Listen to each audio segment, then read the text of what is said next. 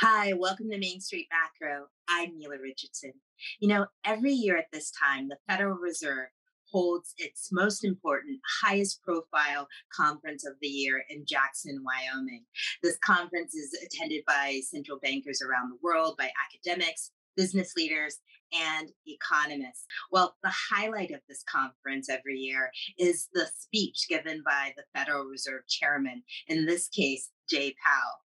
Now, the last time the Federal Reserve held this conference, it was virtual. There were still concerns about the pandemic and the rise of the Delta variant. So, this will be the first time in two years that the conference is held in person with the backdrop of the Grand Teton Mountains. But that won't be the only difference this year.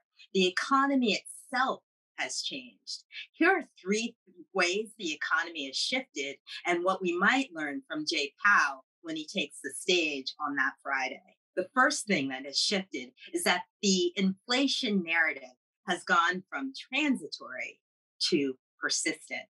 In August of 2021, consumers were seeing price increases.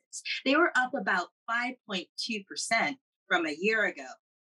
At that time, the Federal Reserve was still saying that inflation would be transitory, really tied to supply shocks that were caused by the pandemic.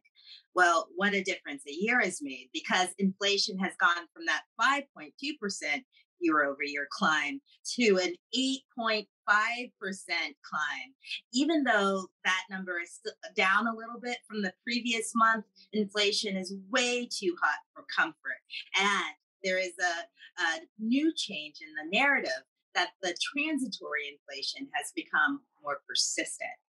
The second economic shift we can see is that in the labor market. It's gone from recovering to tightness. In fact, in August of last year, we were looking at a labor market that was still 5.7 million jobs down from its 2019 levels. Well, we've seen tremendous progress in the labor market since then.